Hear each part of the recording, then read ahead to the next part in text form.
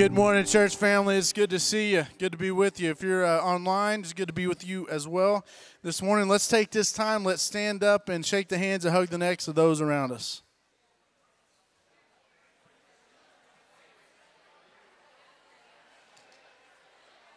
Definitely not going to turn that back on.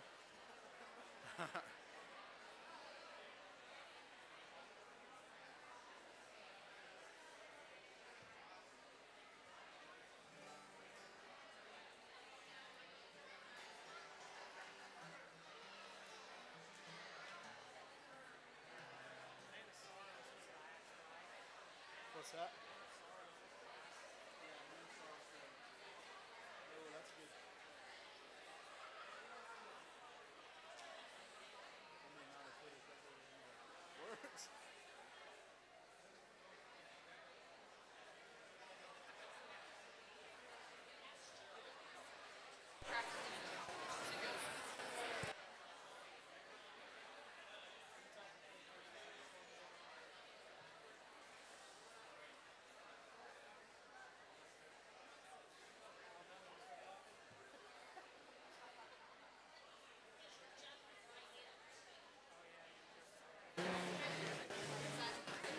All right, as we make our uh, way back to our seats, I would just like to say welcome um, to church this morning.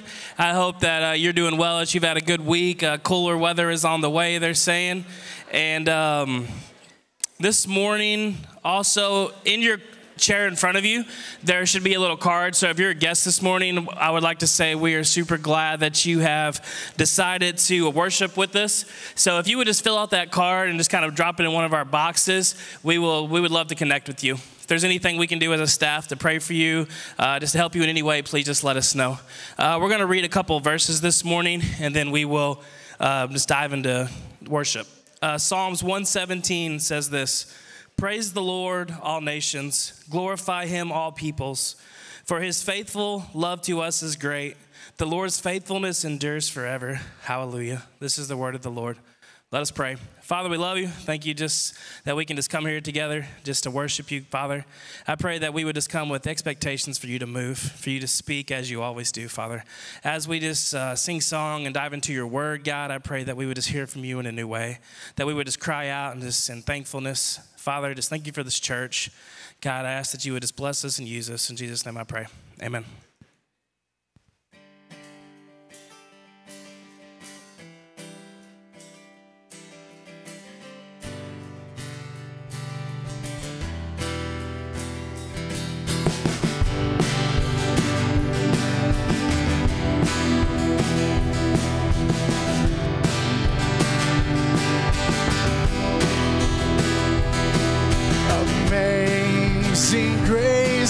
How sweet the sound that saved a wretch like me.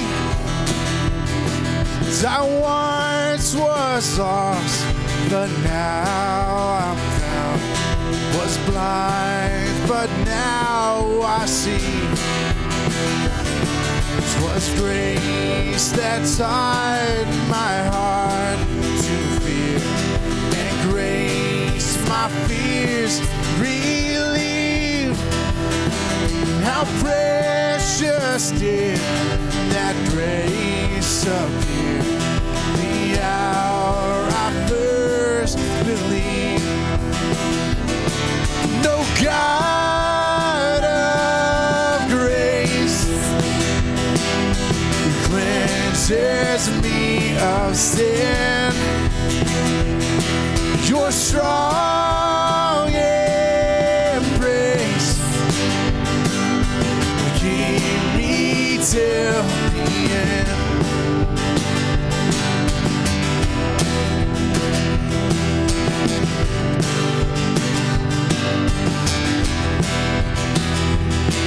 The Lord has promised good to me.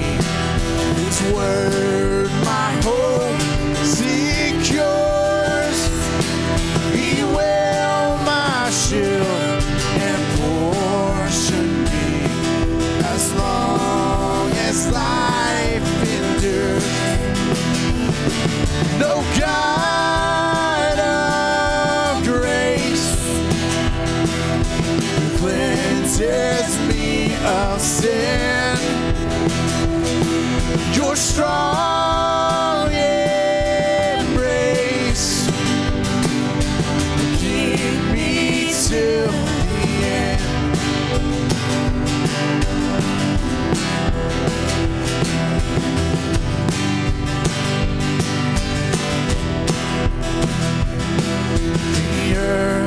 shall soon dissolve like snow. The sun forbear to shine, but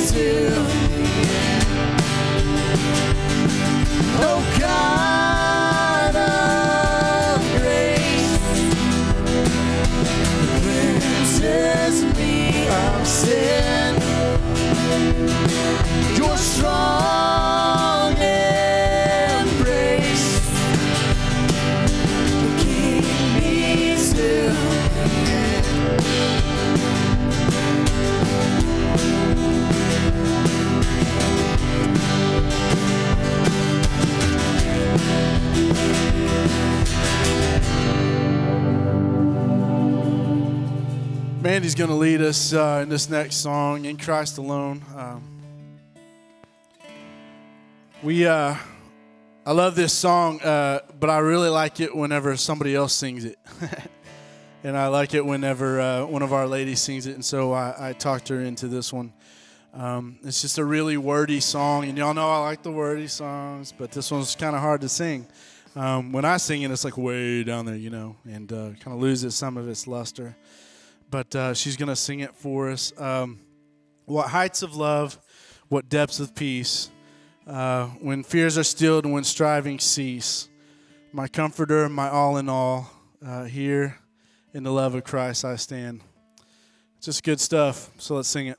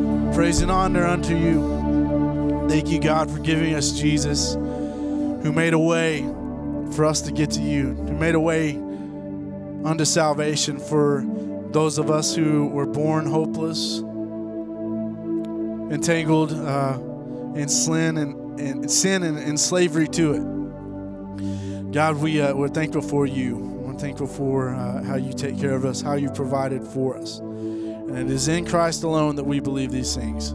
It's in his name. Amen.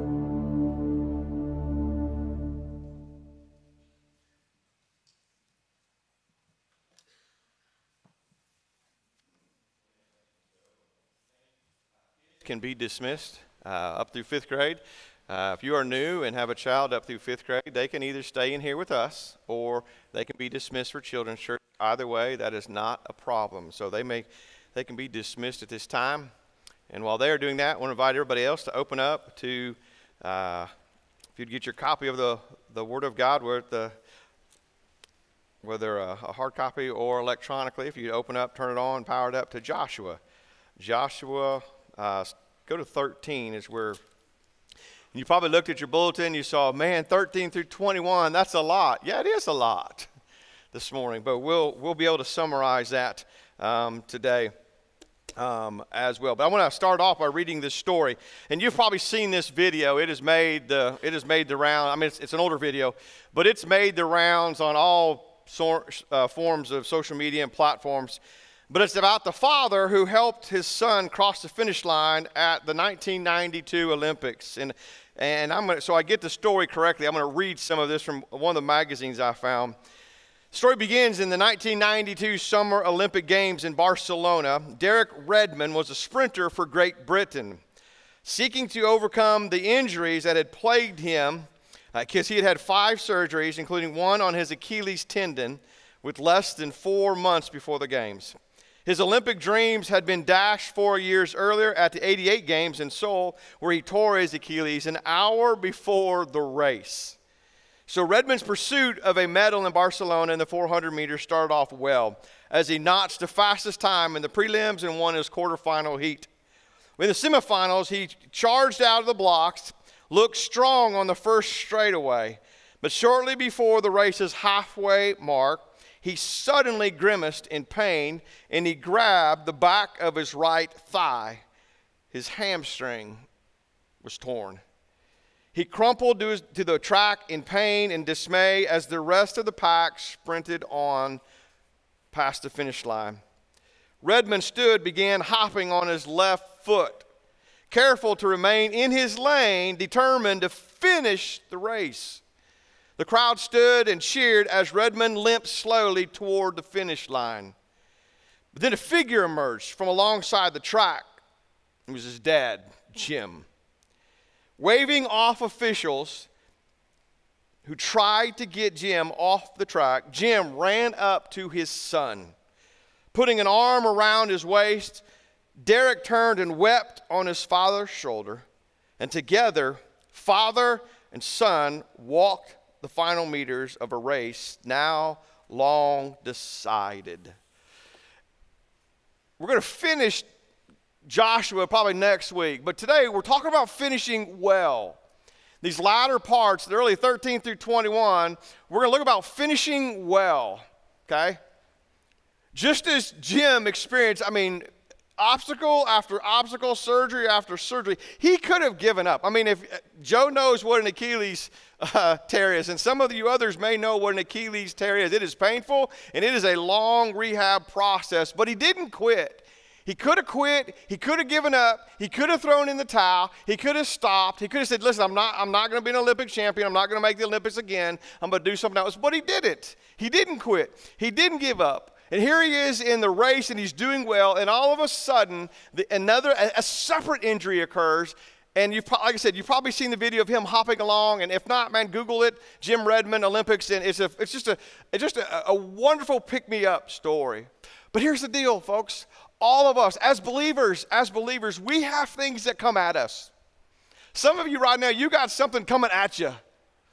Okay? And it can easy, easily cause you to quit, to give up, to stop, whether it be spending time in the Word, spending time coming to church, or I'm not sure about this Christianity thing. I mean, we can all find something. I mean, every single one of us could find something to say, I'm done, I'm over, throwing in the towel.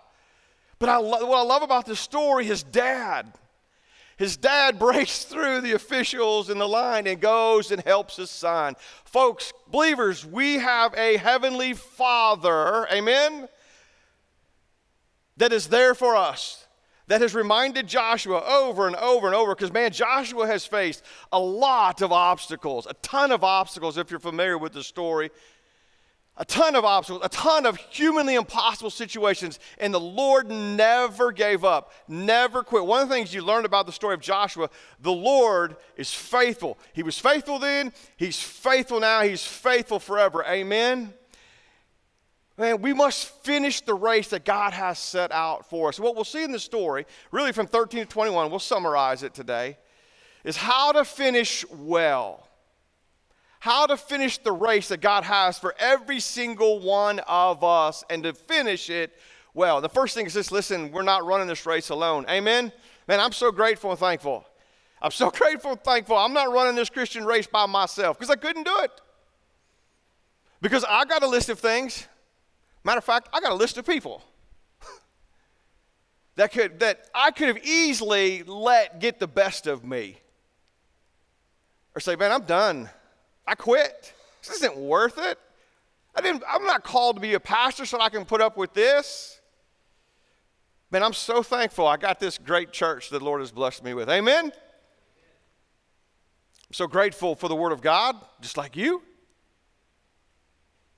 I'm so, so grateful. We're so grateful for brothers and sisters in Christ around the world that we may have that check up on us, say, hey, how you doing? Keep us in line. I'm so grateful thankful for my wonderful family, as well as you are. Joshua has had these as well. Here's what's going on in this from 13 to 21. Basically, from 13 to 21, because like we looked at last week, we looked at 11 and 12 last week basically the wars, the battles that, that the Lord led Joshua to be a part of have ceased. And, and the Lord said there's now calm or absence of wars. It's, it's over in 11, 12, 11 23. Joshua took the entire land just as the Lord had directed Moses. He gave it as an inheritance to Israel. Now remember that word inheritance according to their tribal divisions, then the land had rest from war. And so basically, 13 through 21, 13 through 21 is going to be this, this land called the Promised Land, land of Canaan, what is now modern day Israel, but it was, it's bigger, bigger dimensions then. They're going to be divided. So there are 12 different tribes, okay, and the 12 different tribes are going to get a land allotment. Um, I can't see who's running the back. So Will you put up the picture I put on the computer? Sorry, I, with these lights, and I, it has nothing to do with me being old, okay? Okay, here's a real quick, real quick, okay? Real quick picture, okay, of the Israel. All the different colors represent a different tribe, okay? I don't expect you to read them, okay? So I'm not asking you to read them, but just so you have a visual. But you notice there's two bodies of water. There's a little bitty one, okay, up north, up, up high on the screen, okay? And then there's another one straight south or straight below it. Basically, the Jordan River is what started way above all those colors. It started up in the mountains, okay? That's how the river, the Jordan River started. It comes in the Sea of Galilee, so the small little body of water on the top part of the picture is the Sea of Galilee, okay? And then the Jordan River comes out of the Sea of Galilee down into the Dead Sea, and that's where it finishes. And so the bigger body of water is the Dead Sea. Closer to the Dead Sea, that's where when Joshua crossed the Jordan River, that's where he came in. Okay? Google that. But those different colors represent the different tribes. Because remember, this goes all the way back to the Old Testament. Okay? All the way back to the Old Testament. You can take that down now, okay? Because in Genesis 12, God speaks to a 75 year old man, okay, named Abram. Abram lived in Mesopotamia, which is modern day Iraq. And he said, Hey, pack up your family, and head to this direction. I'm going to tell you where to go. Well, he goes, it, it's to go into the land of Canaan. Okay? And then Genesis chapter 17. Now Abram is 99 years of age. God gives him a new name called Abraham at 99 years of age. And he says, I'm going to make a nation out of you. Kings will come from you. And I'm going to give you this whole land of Canaan as an everlasting possession to him and your descendants after you. Abraham, Isaac, and then Jacob. Jacob's name will then be named Israel. And then in Genesis chapter 47, Abraham's grandson, Jacob, or Israel, moves from the land of Canaan, okay, the promised land. He moves from there because of a drought, which leads to a famine, and he goes to Egypt because one of his sons, Joseph, is there in Egypt. So Jacob takes his whole family is all of, all of his other sons, and they go to Egypt where Joseph is at, and that's where they land. And then after several years, then that's when the nation of Israel, okay, if you will, they become slaves for 430 years in Egypt. And then all of a sudden in Exodus chapter 3 is when Moses is entered the picture. At 80 years of age, that's going to come into play here in a minute. At 80 years of age, uh, the Lord raises up Moses. Remember, he, he had been a shepherd for 40 years because when he was around 40, he killed somebody. But God wasn't finished with Moses. So at 80 years of age, God raises up Moses from leading sheep. He just thought he was taking care of sheep, but he's, he's fixing, well, that's an Oklahoma term, fixing. He's getting ready to lead a bunch of Israelites that are just like the sheep. And so Mo, the Lord raises up Moses out, uh, to, to lead the Israelites out of Egypt to the promised land. And so the Lord lead, leads Moses and the Israelites, 2.5 plus million people, out of Egypt to, the, to Mount Sinai. And then on their way up, then jo- Joshua takes the reins. So Joshua's around 80 years of age. When he takes the reign, he marches them into the land of Canaan, to the promised land, or modern day Israel extended. And that's where we're at today. But there's several things. And so what happens in 13 through 21 is all these pieces of land being given to the different tribes. So 13 through 21, you look through that, there's a whole bunch of names. I know you were thinking, man, I'm so glad he's not reading them. We're not. Can't say half the names, okay? But that's what 13 through 21 are. And so we see the fulfillment of God's purpose, God's plan, because God's not finished with them. But here's what I want you to do I want you to, to look at, at Joshua chapter 13, verse 1.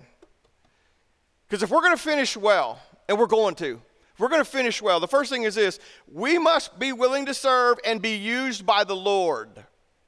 Because Joshua is. Look at 13:1. Okay, we're going to look there's not a main text. We're going to look at a lot of different scriptures this morning to, to, to finish this up. 13:1. When Joshua had grown old, the Lord said to him, You are now very old. Gosh, thanks a lot, Lord. What a way. I'm so glad. Thanks for picking me up.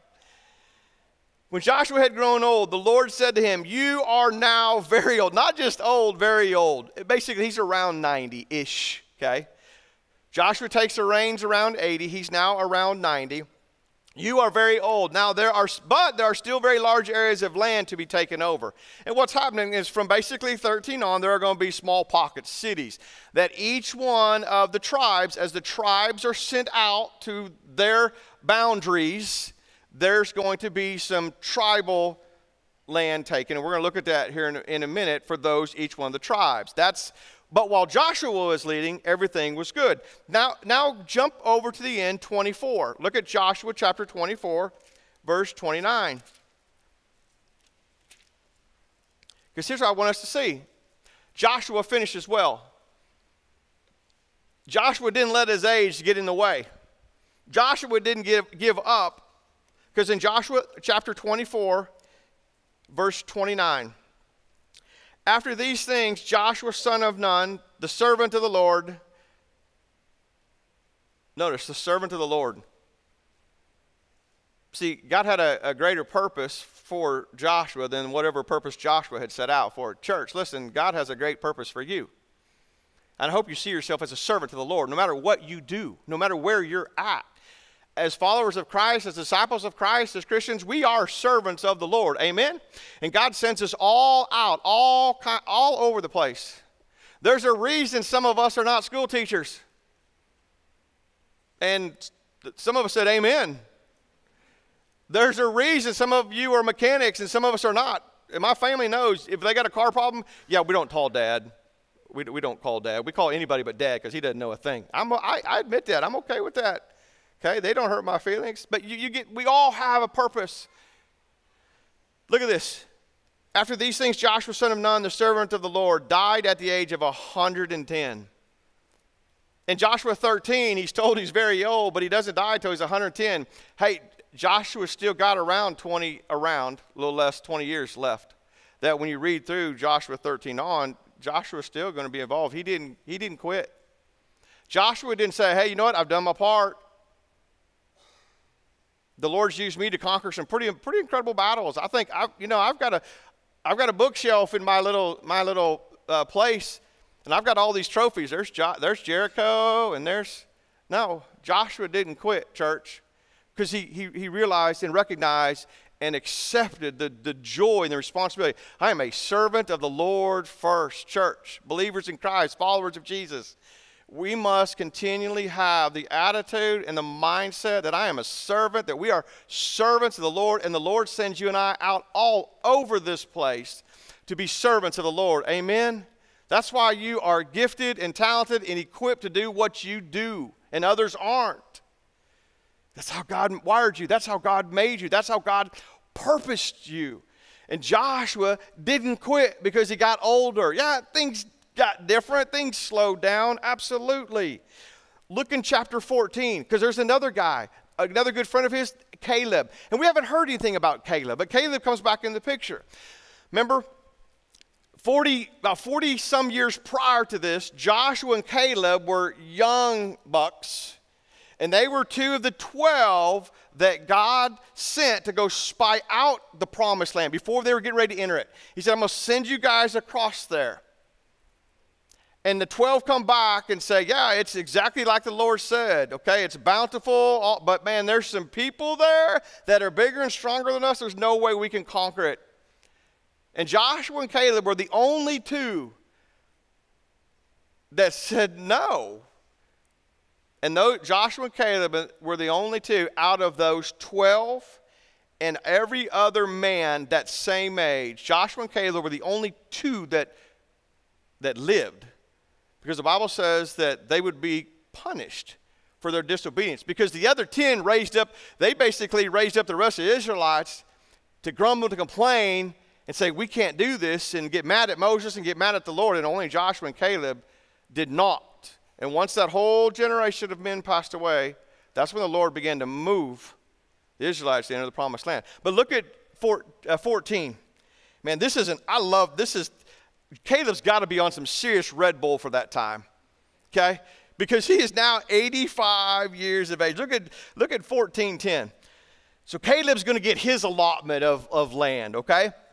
1410. Now then, just as the Lord promised, love that word, still the promise keeper, he has kept me alive. Okay, this is an 80, uh, this, this dude is 85 years of age, okay? Just as the Lord promised, He has kept me alive for 45 years since the time He said this to Moses while Israel moved about in the wilderness. So here I am today, 85 years old. I am still as strong today as the day Moses sent me out. I'm just as vigorous to go out to battle now as I was then. Now give me this hill country that the Lord promised me that day. You yourself heard then that the Anakites were there and their city, cities were large and fortified, but the Lord helping me, I will drive them out just as he said. Man, that guy is a servant of the Lord. Amen? And there is nothing getting in the way of this 85 year old man's life. Caleb didn't throw in the towel. Moses didn't throw in the towel. Joshua didn't throw in the towel. We could go on and on and on. But I love what he says. The reason, look at that end of verse 12. But the Lord is helping me. it's not to say everything was easy for Caleb and Joshua. It's not to say he didn't have difficult days. It's not to say he didn't have times of frustration, discouragement, doubt but he's a servant of the Lord. He said, The Lord is helping me. Listen, let's make it personal.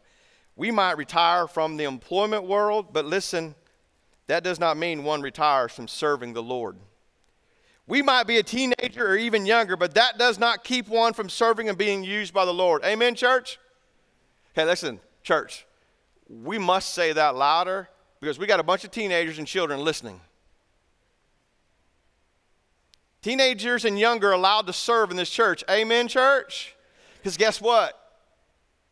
If teenagers aren't serving right now, we got no audio video, we got no preschooler, and we got no children's church. Guess what? They're all in here with you and I. All of a sudden, you're like, hey, praise the Lord for teenagers. it's one of the things I love about our church. Right now, there's teenagers serving all over this church. Right now, in the preschool area, we probably, we've got three generations of people serving. If they're the church of, if they are the church of the future, if they're not allowed to serve now, they won't be in church in the future.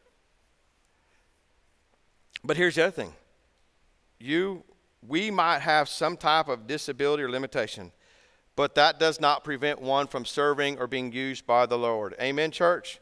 Because God uses ordinary people to do extraordinary things. God uses people that are available and surrendered. Revelations chapter 2:10, be faithful even to the point of death, because we walk by faith. Amen. I mean, I had a great example, and you've heard me you you've heard me reference my grandpa. My grandpa on my dad's side passed away at 94 just a few years ago. I mean, the guy was golfing at 91 once a week. At 92, he was still going to his church every week and folding bulletins, getting communion ready, or whatever, making a phone call, whatever he needed to do until, until his mind and his body would prevent him, or, or the uh, driver's license bureau said, Oscar, you can't drive anymore. So he found a way to serve the Lord. Somebody picked him up and took him to the church.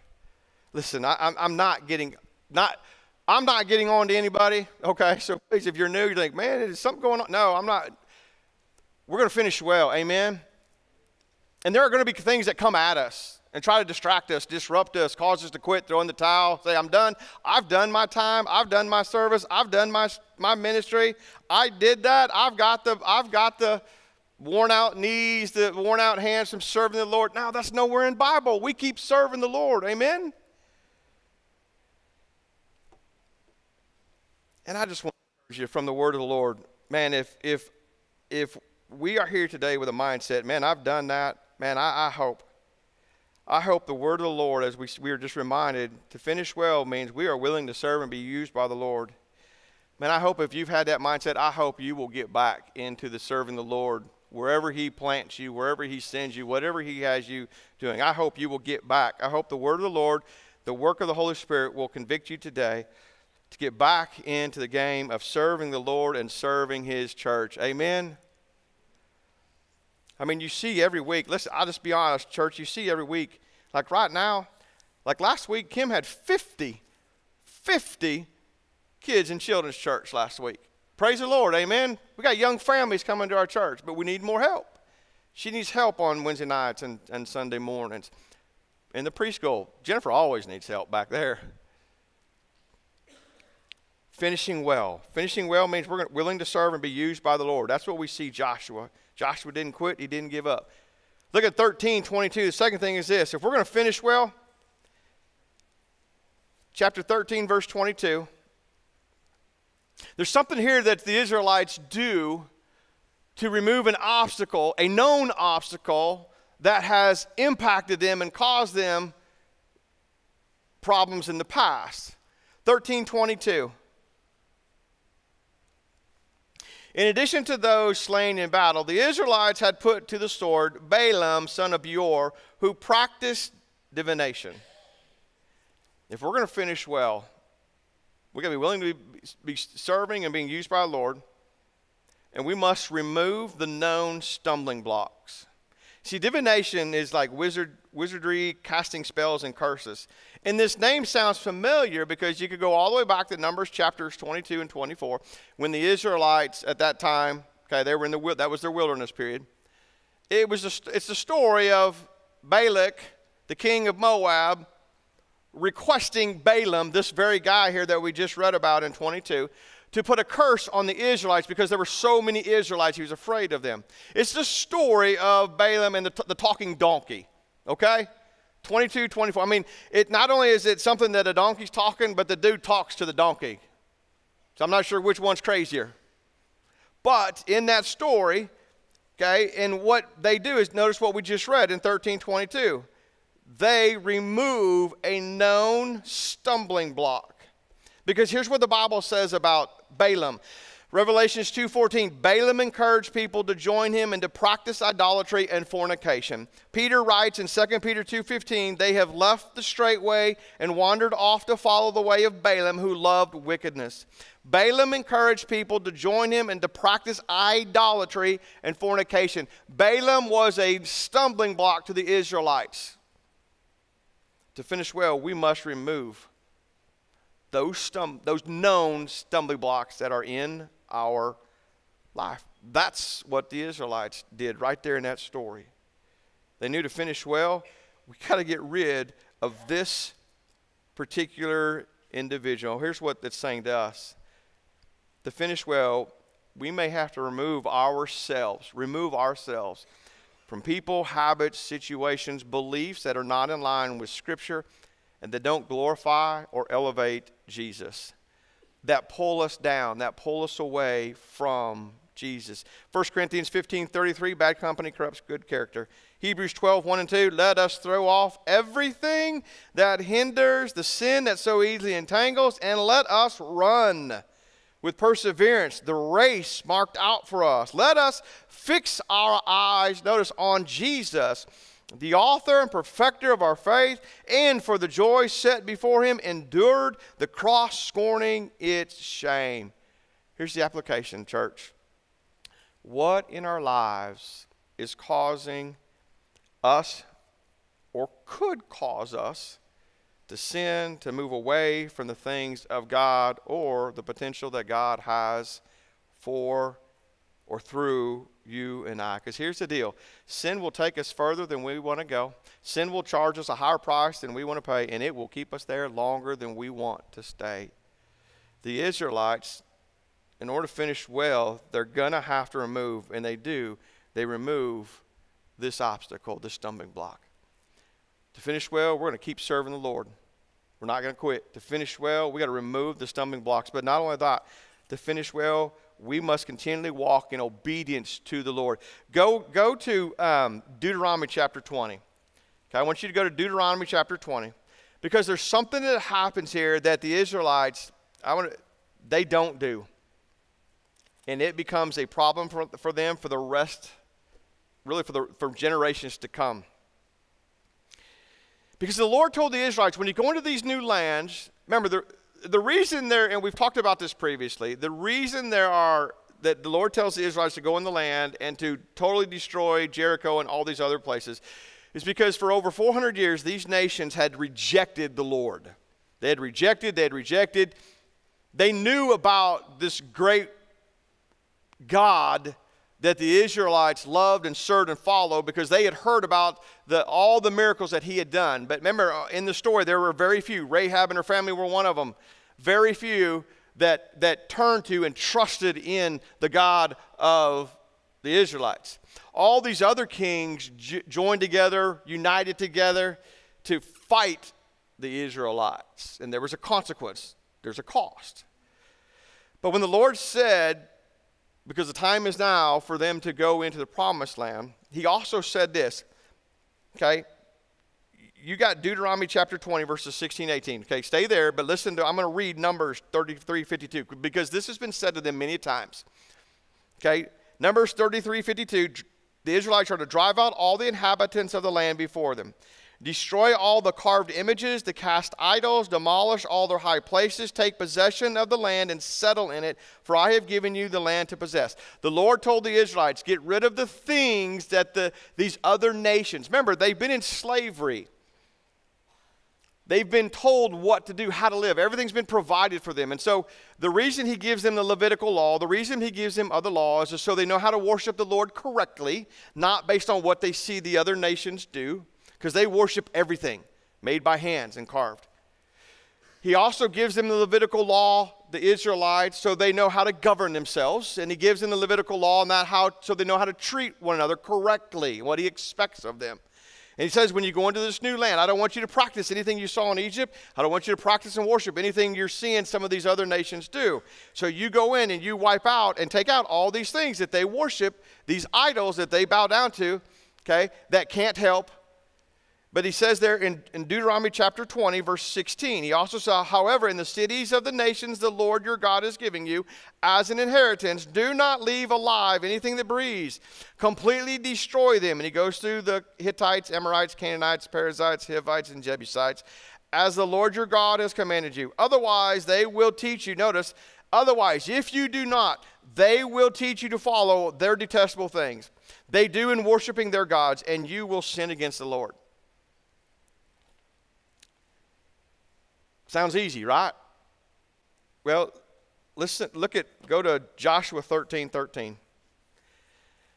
As the land divisions have been given by boundaries, the Lord sends them out, the, the tribes, to get their, their land. And there, yes, there's going to be some, those tribes are going to have some battles because of cities within. But I want you to listen to these four verses Hebrews 13 13, and see if what we read doesn't line up with what we just read, which was the Lord saying, You must do this. Hebrews 13 13. But the Israelites did not drive out the people of Geshur and Maakah, so they continue to live among the Israelites to this day. You, you see that?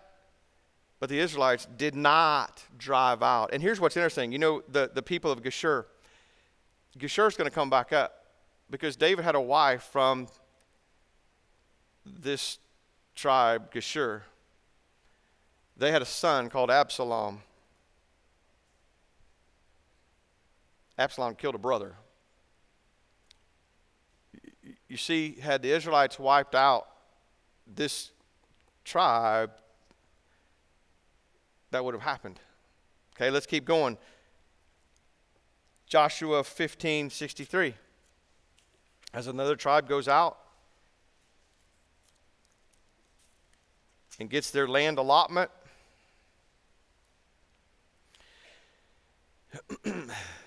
Fifteen sixty three. Judah could not dislodge the Jebusites who were living in Jerusalem. And to this day, the Jebusites live there with the people of Judah. Notice, Judah could not dislodge the Jebusites. The Lord, the Lord said there what? Numbers over in Numbers and Deuteronomy, Numbers 33 and 20, as well as other places, you are to wipe out. Judah didn't, could not. Go to 1610. 1610, they did not dislodge the Canaanites living in Gezer. And to this day, the Canaanites live among the people of Ephraim, but are required to be forced labor. Go to 1712.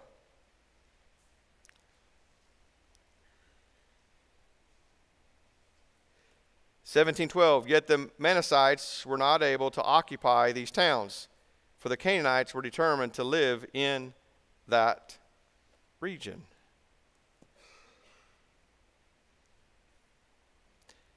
Look at 13. However, when the Israelites grew stronger, they subjected the Canaanites to forced labor, but did not drive them out completely. What did the Lord tell them to do?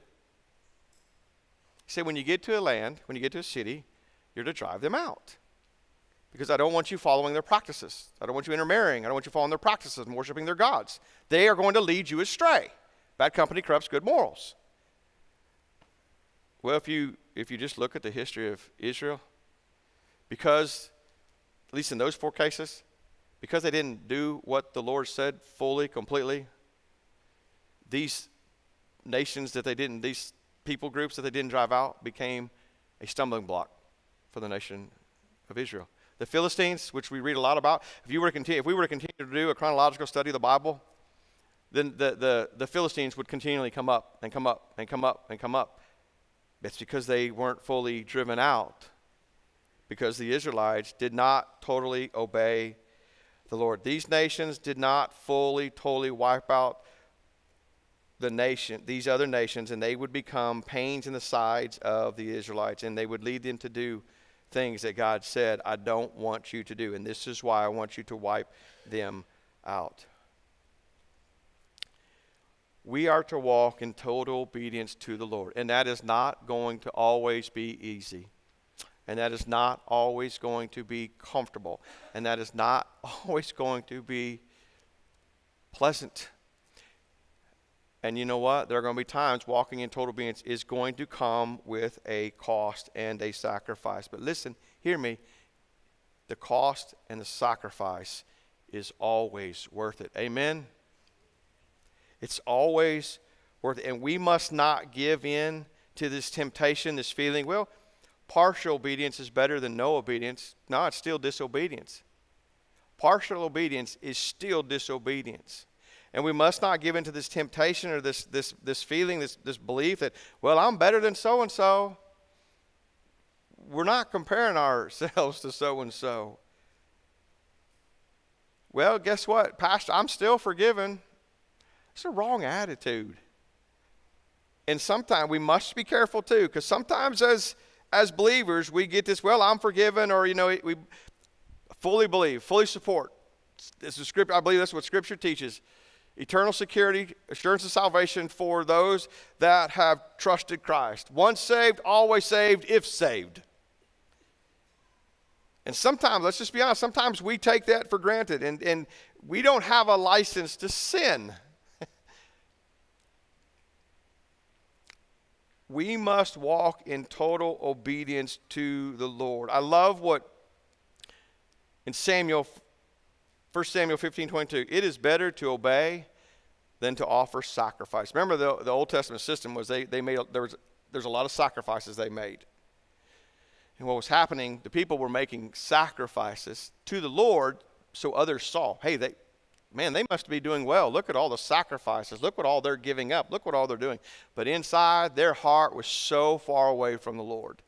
And what the Lord is saying there, it is better to obey than to sacrifice. What the Lord is saying is, I would rather you obey than to sacrifice because it's a heart issue. Remember when David was selected as king?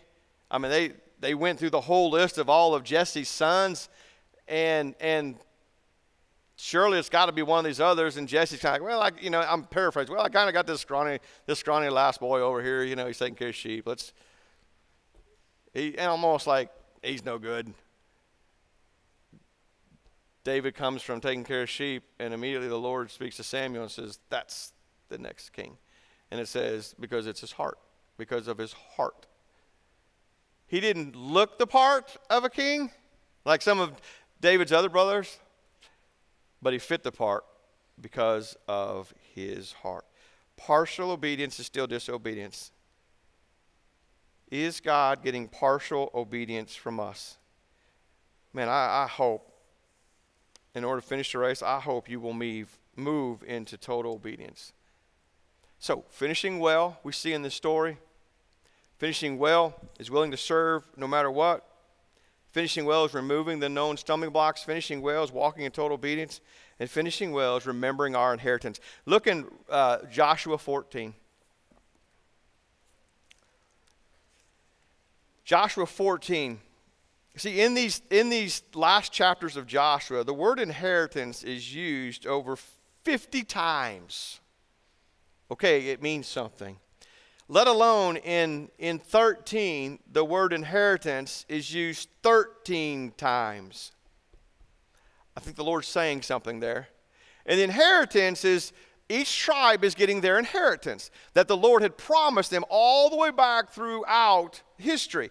All, their inheritance was promised them all the way back in Genesis 17 8 Exodus 3 8, Leviticus 20, 20 through 24, and Deuteronomy 4:20. For all of these years, for several hundred years, they've been promised an inheritance. And so what goes on from 13 on is each tribe is getting their inheritance from the Lord. In chapter 14, verses just 1 through 3. Notice how many times the word inheritance is used. Now, these are the areas the Israelites received as an inheritance in the land of Canaan which Eleazar the priest, Joshua son of Nun, and the heads of the tribal clans of Israel allotted to them. Their inheritances were assigned by lot to the nine and a half tribes as the Lord had commanded through Moses. Moses had granted the two and a half tribes their inheritance east of the Jordan, but had not granted the Levites an inheritance among the rest. For Joseph's descendants had become two tribes, Manasseh and Ephraim. The Levites received no share of the land, but only towns to live in, with pasture lands for their flocks and herds. Did you notice that? Four times the word inheritance is used just right there in those three verses, but it's used throughout chapter 13 as the land is divided up. But here's the deal from, from our perspective, what inheritance is what?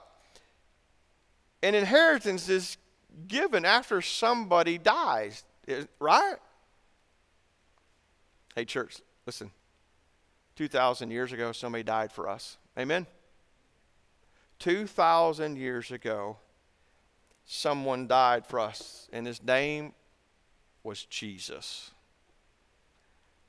And he has given those of us that have said yes to him to be a follower of his, to trust in him, to live our life for him. We have an inheritance. Amen. Look in Ephesians chapter 1. Let's go to the New Testament. Look at Ephesians chapter 1. This is a great two verses.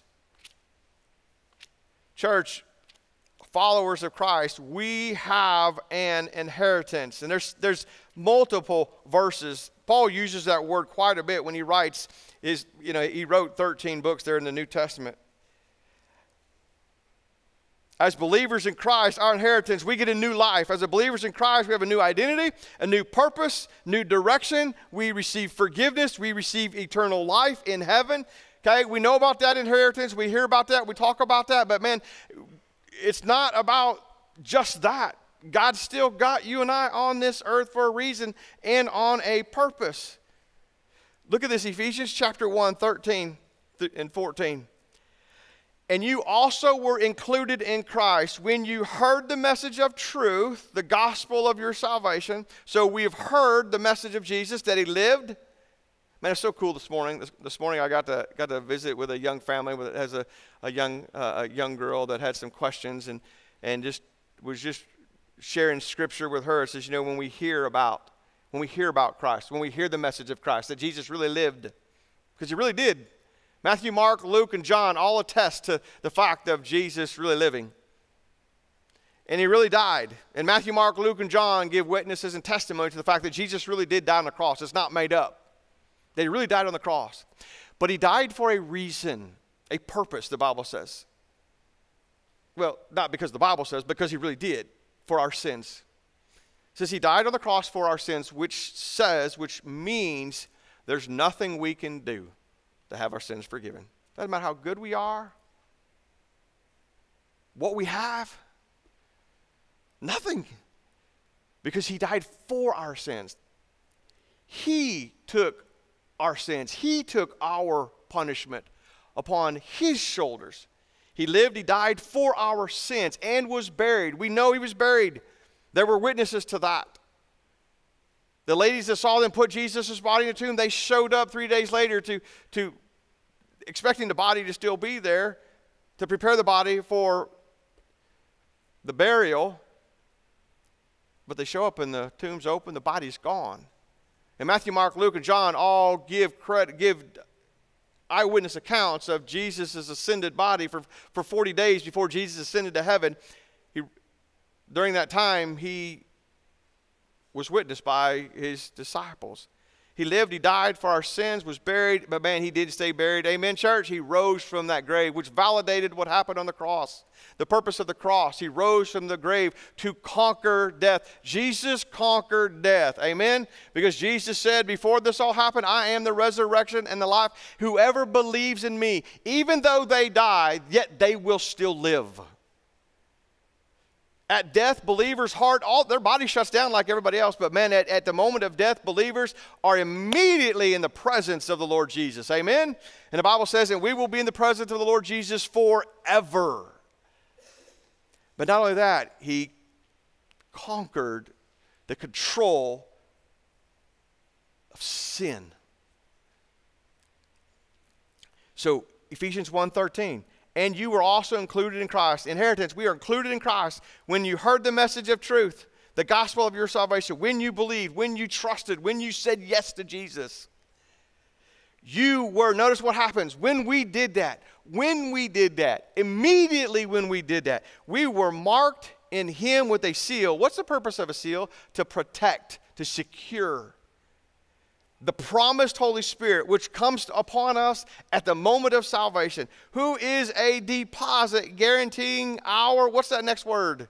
Inheritance until the redemption of those who are God's possession to the praise of his glory. And the church said, Amen. Folks, to finish well, man, we can't quit. And I know there are things going on in, in some of our lives, some of your lives, and, and for some of us, maybe not now, but maybe down the road, some, something that's easy going to come. And I'm not making light of it or not saying it's not difficult. That's not at all. But man, as your pastor and your friend, I just want to, I want to stand with you. I want to pray over you, pray with you, and I want to encourage you.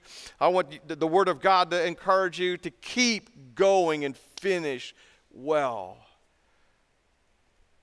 by serving the Lord, by removing those things that can so easily cause us to. Now, for you, what may cause you to stumble on somebody else, they're different. But man, we got to remove those from us, not let them easily entangle us.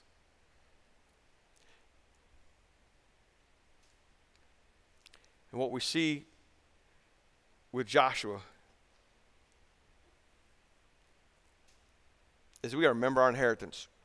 The Christian life is it's a journey. There's there are some phenomenal days, and there are some days that are tough. Remember our inheritance. Remember what Jesus did for you and for I. Amen. Let's pray. God, I thank you. I thank you.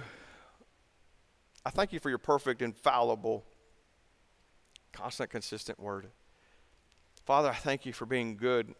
One of the things we have we have continued to see throughout the book of Joshua is you're good, your faithfulness, your grace and your mercy, but also your just and your correction.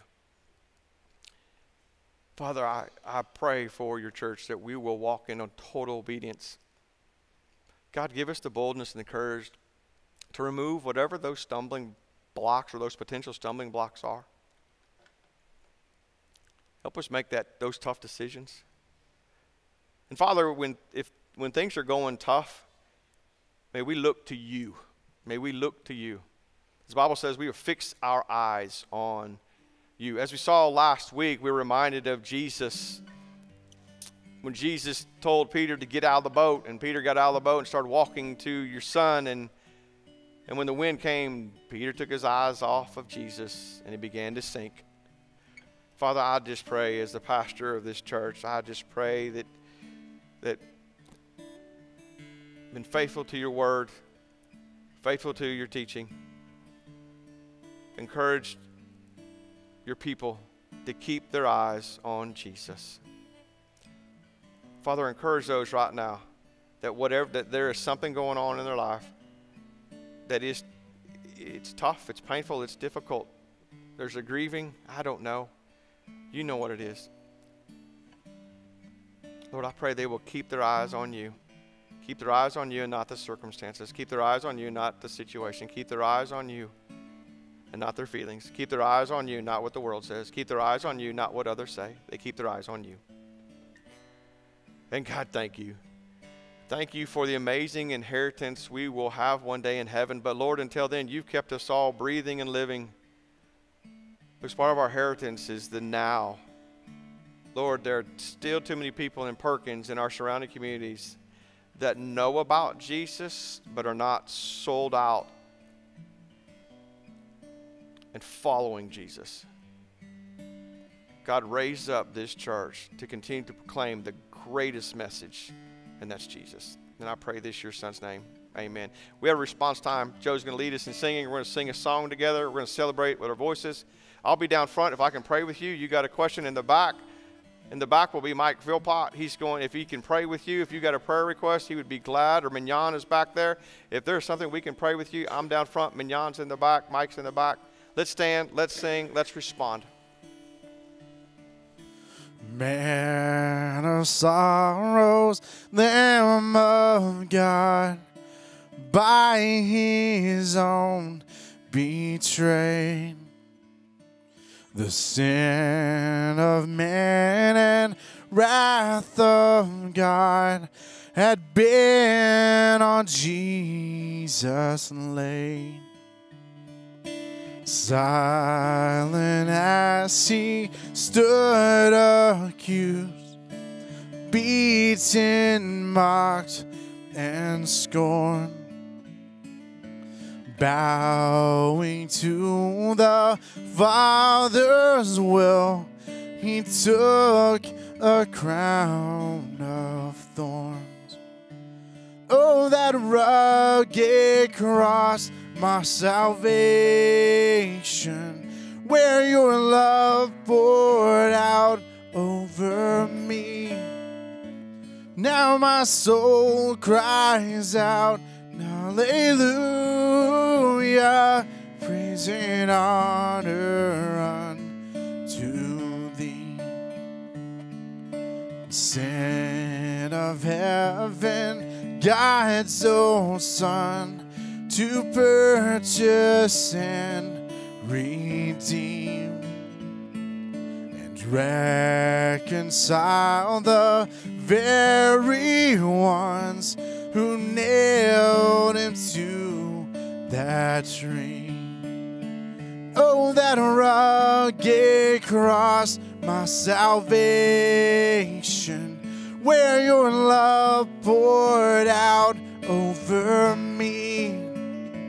Now my soul cries out, Hallelujah, praise and honor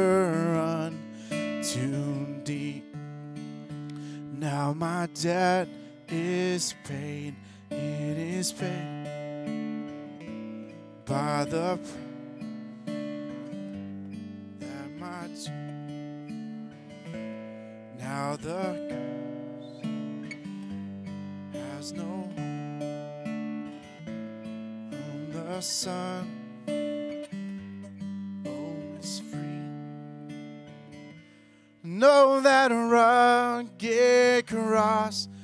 salvation, where your love poured out over me.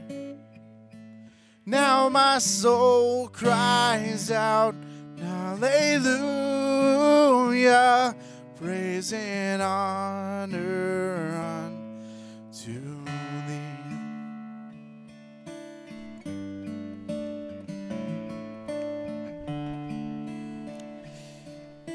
Church, let's finish the race. Let's run the race. Let's finish the race. We have a Heavenly Father that's not going to let us run this race by ourselves. And I know there are times we may feel like it and it, it, we may think it. Okay? But as He told Joshua over and over and over, I will never leave you nor forsake you. Be strong and courageous, and I am with you. And, and He says those same words to you and I because He is faithful and He's a promise keeper. Let's continue to be used by the Lord and serve the Lord. Let's continue to walk in total dependence. And let's continue to not let obstacles or potential obstacles knock us out of the way. And man, let's remember that inheritance that He has for each and every one of us. Amen, church? Man, it's great to have you all here. Uh, as Chris said at the beginning, guests, we're honored. If you're one of our guests, first or second or third time, uh, we're honored that you're, you've chosen to worship with us. Uh, I'll be down front after service if there's any questions I can answer about our church. But also, in a couple weeks, not next Sunday, I think it's the, the second Sunday in um, September, I'll be doing a class at 9.30 about who, what who is First Baptist Church? What do we, what do we believe? Why do we believe this? Uh, you got questions about that, questions about baptism. Hey, what, is, what does it mean to be a Christian? Or, hey, I want to be a member. So it'll be in a couple weeks at 9.30. Just meet outside in this welcome area, welcome center area, and I'll see how many we've got, and then we'll have a class. Uh, go through, through a few things, and I'll answer your questions uh, for you as well. Uh, a couple things. Hey, today is a wedding shower for Charity, Serene Charity. It is good to see you here. I'm trying to find the information here so I get the right time. Great to see you and, and Doug here today. So there's a wedding shower today at 3 to 4.30. Charity's young lady who has grown up in our church. And so we got a wedding shower for her today. Open gym basketball tonight. Tuesday, pickleball for anyone. Man, Wednesday, Wednesday night, great place for you and your family. Uh, some, some classes for all different ages. We have Grief Share, a wonderful ministry, a wonderful support group that anyone is welcome to. Starts at 6, and then all the other Bible studies and classes start at 6.15. 6.30 there's a uh, greg and joni goss starting, started a parenting class last week but even if you weren't here last week uh, it is still um, yeah that is an ongoing class so love to see you for that so there's a couple more um, as well and again our children's ministry kim needs kim needs some help in the children's area uh, on Wednesday night or on a Sunday morning. So please seek Him if God has gifted you and equipped you to work with children. If He hasn't, we don't want you there okay? But God's got someplace else for you, okay? And you're like, hey, I, I really got some questions. I want to serve the Lord. I'm not exactly sure. Call me up this week. Send me an email. Let's get together. Uh, or any one of the staff, Chris or Joe, any one of us, call us up. Man, we want, we want to get you plugged in. Um, how God has gifted you and equipped you uh, for, his, for His work here at the church, but also throughout, uh, throughout the world. Uh, guests you're, you're going to do us a favor. You're going to leave your chair because you're our guest. Church family, let's go make much of Jesus, and then let's also put the chairs against the east and west wall. You all have an awesome week.